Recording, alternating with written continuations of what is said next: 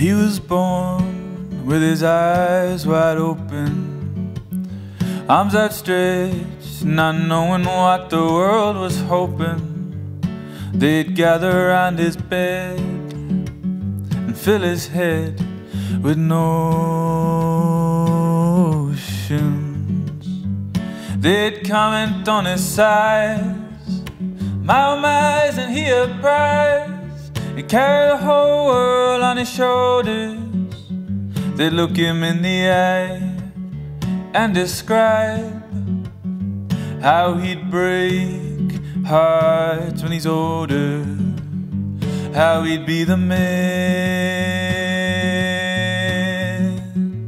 How he'd be the man.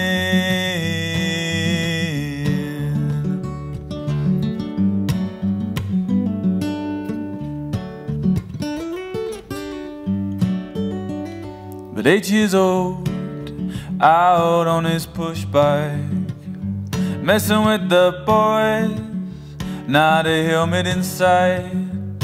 His sister ordered home nearly two hours ago, wrapped in pads from head to toe.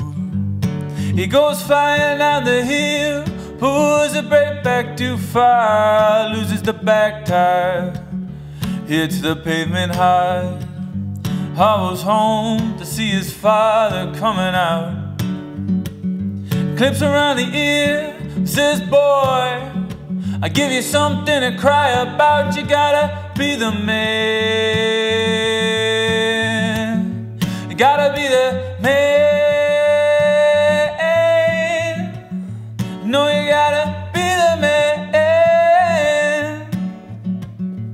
Gotta be the man.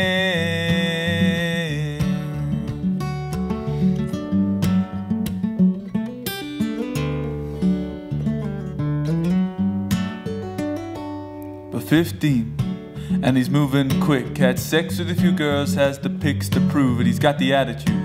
Got the whole world at his fingertips, but anything other than anger or joy don't seem to fit.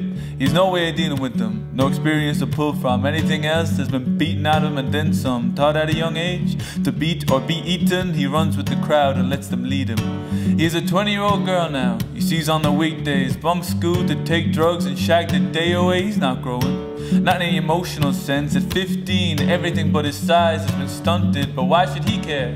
It's all going to plan, at least that's what the TV, his friends, and his dad keep telling him. If you're not Charlie Sheen, well then you're Alan, and so far the whole world keeps selling that he's the man.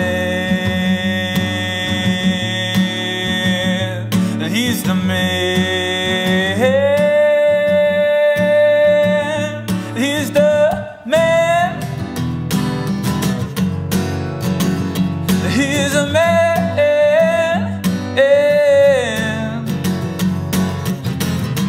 Revel in it now, boys.